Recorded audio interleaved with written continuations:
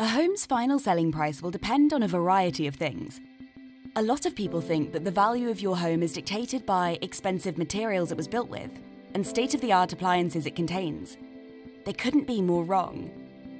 A home's value is dependent on a lot of things that have no physical connection with the home.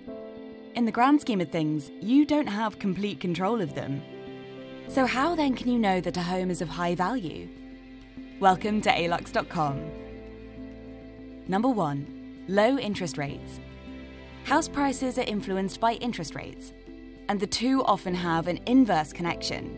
The interest rate and the price of the property are the two factors that the majority of purchasers pay close attention to. The purchase price of the property is the entire sum you spend, and the interest rate is the cost of your mortgage. Home buyers can afford pricey homes when the Federal Reserve reduces interest rates. In general, as interest rates increase and mortgage fees skyrocket, there will be fewer buyers in the market. As a result, real estate values either decline or remain unchanged until interest rates start to drop again. Number 2. The home has great curb appeal. A home is sure to have a better overall value if the environment is well taken care of. First impressions last long, and many prospective homebuyers will get this impression long before they see the interior of the building. A home's curb appeal is increased by well kept grass, neatly trimmed trees and bushes, freshly painted shutters, and a welcoming doorway. The situation of neighbouring homes will also have an effect on the home's value. So, a sign that a home is of high value is the neatness of its curb. Number 3. The schools are good. Education promotes development and ultimately leads to higher home value. Have you noticed that cities where reputable schools are located are often well developed? The calibre of the nearby schools is one of the first factors parents with school age children take into account while searching for a new home. If your house is in a well regarded school district, it will have a higher value whether or not you have kids, because it will be sought after by a lot of families. Number 4. Amenities are nearby. Homebuyers usually desire to purchase an ideal home close to amenities like dining, entertainment, and shopping. No one wants to have to drive an hour to the nearest gas station or grocery store. Your home's value will be high if it's situated a short drive from these popular locations, or even better if you can walk there. Number 5. The neighbourhood is safe. Homes located in a neighbourhood with low crime rates and general safety are bound to be valued higher than those in dangerous areas. Low crime rates attract investors and promote the opening of businesses in the area. With this growth in commerce, there will be a need to house workers. Prospective buyers could be deterred from making an offer on a property if the majority of the houses on the block have bars on their windows. This is a sign that security isn't doing much to prevent break ins. Several pieces of research over the years have proven that neighbourhoods with low crime rates usually have a higher home value than those with high crime rates. Number 6. The house is in good shape. Nobody wants to buy a house in poor condition. Houses that are turnkey ready, that allow a buyer to move in immediately without having to worry about a leaking roof or defective wiring are what most buyers are searching for. The value of a home with a decent roof, airtight windows, sound and HVAC systems, and trustworthy wiring and plumbing will be higher than a home that needs significant repairs before people can move in.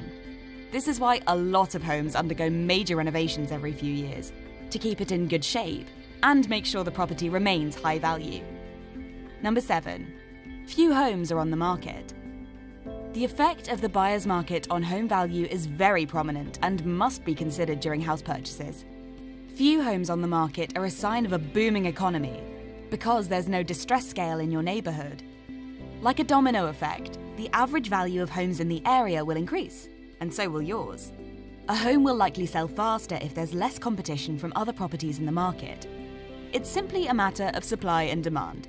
When there aren't many homes available, more potential buyers will be checking out yours, increasing its resale value and lowering the likelihood of lowball bids. Number 8. The neighbourhood is restrictive. Not all restrictions are detrimental. In fact, they might be quite beneficial for a home's value. Home buyers seek reassurance that their new home's worth won't be diminished by neighbours who erect subpar storage sheds or leave broken down vehicles parked in the street. A property will be more appealing to purchasers if your community has a homeowners organisation, or HOA, that prohibits these kind of activities. Number 9. The home uses energy efficient features. A house that uses less energy will cost you less money now, which you can use for other improvements. and will increase its value and marketability over time. Simple undertakings like installing a smart thermostat, for instance, can go a long way in increasing the overall value of a home. Homebuyers want a house they would be proud of, and not one that will become a financial burden after purchase. So they'd rather spend big at the onset on a high value home than go for something cheap that will end up drilling a hole in the account. Replace outdated leaky faucets and windows, put in energy saving appliances, and insulate your house as further methods to increase the efficiency and value of your property. Number 10. There is a high employment rate. One of the most significant advantages provided by cities is access to jobs. And this is why a lot of homes in cities, even though smaller in size, cost more than those in rural areas. People often have greater incomes and levels of confidence as the employment market expands which is advantageous to society in many ways. Again, like a domino effect, it results in more home buyers and renovators, which will in turn raise house prices. Since one often depends on the other, it's not surprising that individuals require solid employment to cover their mortgages and purchase homes. Number 11.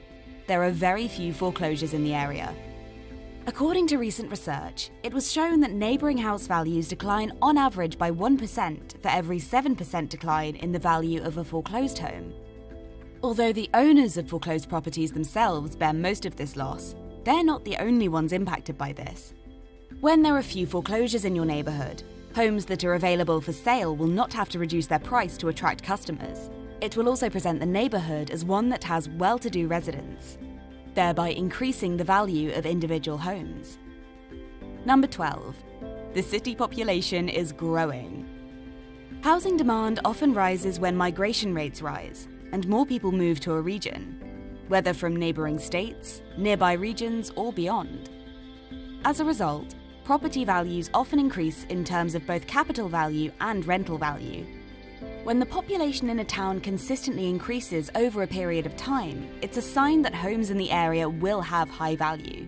Number 13. The economy is booming.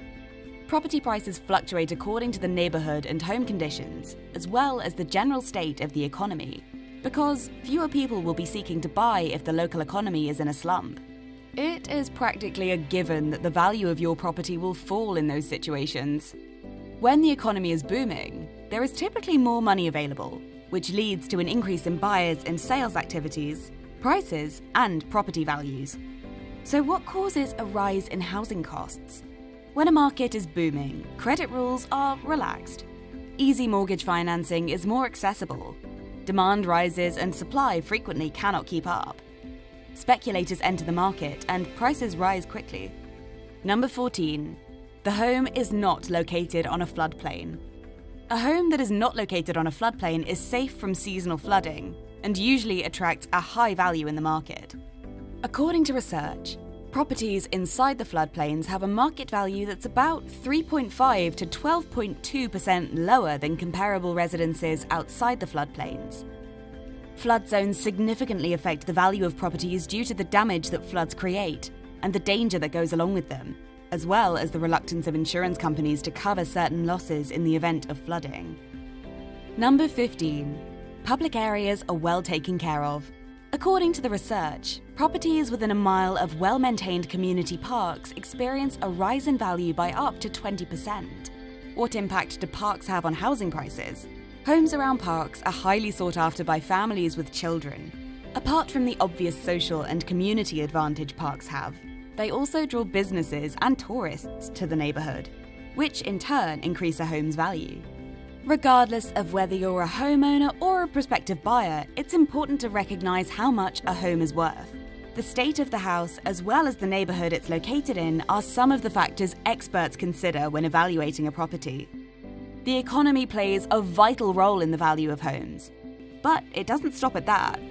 Have you ever wondered why everything keeps getting expensive? we made a video titled 10 Reasons Why Everything is More Expensive that explains what is happening. If you enjoyed this video, please leave a like and subscribe to this channel so you don't miss out on our videos.